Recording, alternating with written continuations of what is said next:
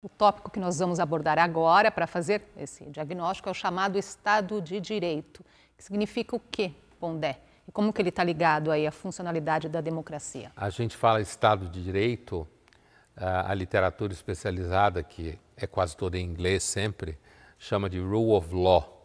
Quer dizer, é, Estado de Direito significa uma, uma sociedade em que ela é regrada pela lei, uma tradução selvagem. Né? Ela, é ela tem uma regra que é a lei. Parece redundante a definição, o termo em inglês. O Estado de Direito é a dimensão claramente jurídica da democracia.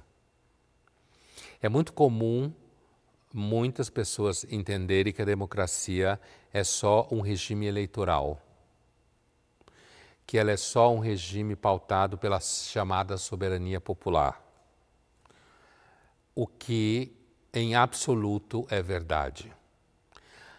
A guarda da democracia, no sentido de proteção da democracia, depende muito de que haja nela uma instituição contramajoritária, como se chama, não que seja contra a maioria, mas é contra-majoritária no sentido de que ela esteja despregada da função eleitoral porque ao estar despregada da função eleitoral, ela teria aqueles que fazem parte dessa instituição contra-majoritária, que é o Poder Judiciário, né, e o STF no topo, essas pessoas estariam protegidas da necessidade de garantir serem eleitas. Porque se elas tivessem, tivessem que ser eleitas, ia dar na mesma patifaria que dá em toda eleição. Ao mesmo tempo, a ideia é de que o que rege essa instituição contramajoritária é a competência. É a competência no exercício da função. Saber instalado, como se fala, conhecimento do objeto, no caso, lei, julgamento, constituição, o que for. E, ao mesmo tempo, essa instituição que garante o Estado de Direito, garantir todos são iguais perante a lei. E como que o Brasil está nesse quesito? Então, uh, o Brasil nunca foi muito bem das pernas nesse quesito, infelizmente. Né? E isso, de novo, troca o governo da hora e continua sendo problemático. É claro que no caso dos Supremos, no Brasil e nos Estados Unidos, eles são escolhidos por figuras do Executivo, sabatinados por Senado se há uma convergência entre os poderes, estraga o processo. O cara devia ser sabatinado de verdade. Né? E uma vez indicado para o Supremo, se descolar de qualquer interesse político ou empresarial, ou de business. Né? Isso atrapalha, como isso não funciona muito bem, esse mecanismo da, da indicação daqueles que compõem o, o Supremo Tribunal, como isso não funciona muito bem, o resultado é que a ideia de que todos são iguais perante a lei não anda muito bem. Outra coisa que faz com que não ande muito bem é se você tem dinheiro ou não. Se você tem dinheiro, e o dinheiro normalmente ele vem acompanhado de uma rede de relações. O poder tem vocação ao poder. Certo? Então, se eu tenho muito dinheiro, eu provavelmente conheço pessoas nas altas esferas do poder do Estado. Isso pode facilitar muito a minha vida se eu tiver algum problema com a lei. Tem assim a ver com aquele pensamento para os amigos, tudo para os inimigos. A lei? Você falar essa frase para quem fica tentando passar a ideia de que o Brasil é uma ordem e um Estado de Direito superoperacional, é quase como você jogar água benta em cima do vampiro. A figura fica assim. Porque, de fato, não é em todos os níveis, mas principalmente nos níveis que interessa, no Brasil, sim, para os amigos tudo, para os inimigos a lei. A prova é que quem não tem amigos nas esferas de poder pode estar apodrecendo na cadeia sem nunca ter passado por nenhuma investigação, julgamento ou o que for. Essa é a prova cabal. Se você não tem, e aí que eu estava falando, dinheiro, poder, tem vocação ao poder. Então, a convergência entre o poder econômico de certas pessoas e grupos e o poder político, tomando café da manhã, fazendo happy hour, certo? Fazendo encontros em restaurantes fora do país, ou encontros ah, com especialistas, empresários e juristas fora do país. Tudo isso, certo? Quando você olha do ponto de vista da ciência política, você diz: isso não é bom. Eu vejo isso acontecer nas redes, isso é mais fácil ainda hoje. Às vezes os canais não e a mídia oficial não fala disso claramente, pelas mais variadas razões e motivos, mas quando a gente vê isso, principalmente nas redes sociais, isso produz uma sensação na população em geral que é assim, olha a patifaria aí, olha como eles se encontram. Os americanos diriam, no final de semana todos vão jogar golfe.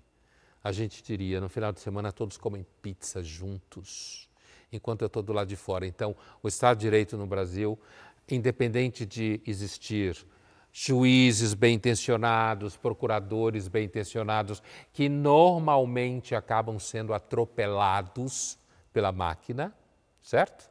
Não conseguem nadar, tamanho tamanho das ondas de mau funcionamento e corrupção. E corrupção não é só dinheiro, né? A gente sabe disso.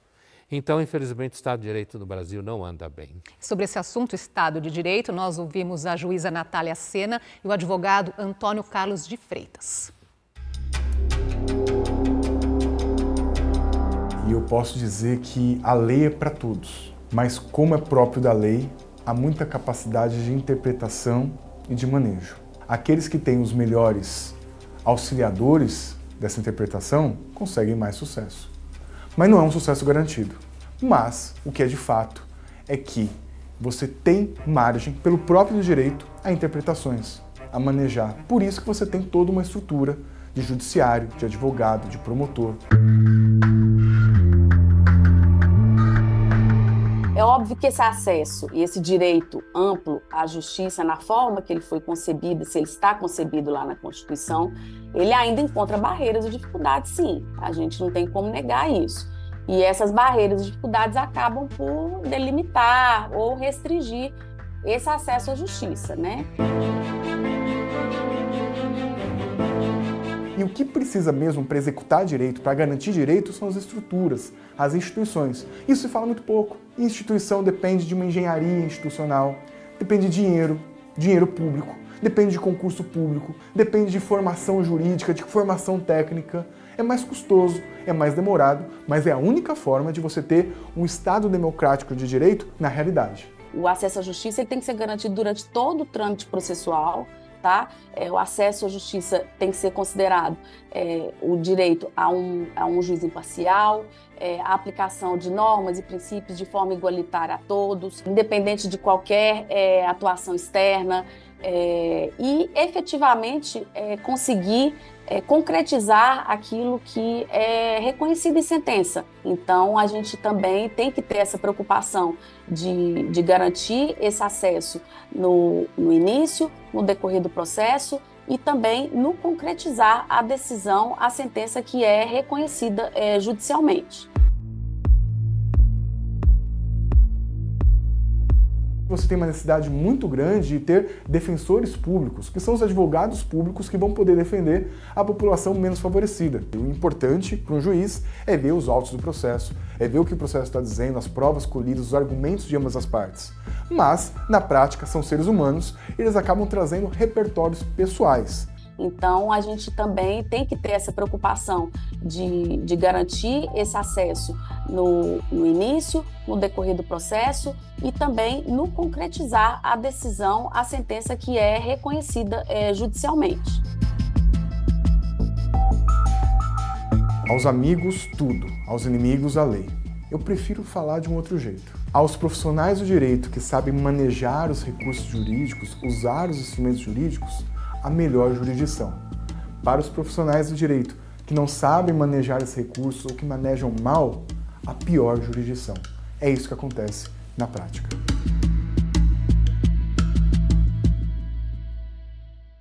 Tem um outro fator também que pode e sabe-se muito bem que acontece em relação aos juízes, mais especificamente do que advogados enquanto tal, é porque o direito ele é hoje atravessado por certos princípios extrajudiciais, mas de fatores sociológicos e políticos. Traduzindo em miúdos, você pode ter atravessamento da interpretação da lei a partir de pressupostos ideológicos. E isso pode fazer com que a aplicação acabe sendo, de alguma forma, lida pelo que bem falou o advogado, quer dizer, as leis, como se diz sempre, né, existe a letra da lei e o espírito da lei. Entre a letra da lei e o espírito da lei está aqui aquilo que em filosofia chama-se hermenêutica, a interpretação da lei. Então, é evidente, ruim com ele, pior sem ele. Mas é evidente que é um mercado em crescimento, caro, a maior parte da população dificilmente tem como sobreviver num universo como esse. E, por outro lado, a gente sabe muito bem que, mesmo que tenham profissionais extremamente honestos, a gente sabe que também existe corrupção nesse nível. Pondé, por que, que as democracias morrem? Porque as democracias morrem? Olha, a gente precisa de um tempo para saber se elas vão morrer de vez, mas até agora elas morrem por golpe exterior, que a gente sabe, de Estado. Mas o que está no horizonte nos últimos tempos elas morrem principalmente por manipulação daqueles que ocupam cargos dentro do próprio Estado. E, inclusive, esses livros todos aí de Democracia Morre e tal lidam com esse tipo de problema. Né? A democracia morre quando você tem um enfraquecimento muito grande do líder executivo na mão de um legislativo muito corrupto. Então, ela também perde força. Ou seja, as democracias morrem sem golpe exterior, né? elas morrem quando a relação entre os poderes saudável, que é de uma certa distância, um pouco de conflito, um pouco de parceria, colapsa. Quando essa relação de distância colapsa, a democracia vai literalmente para o saco.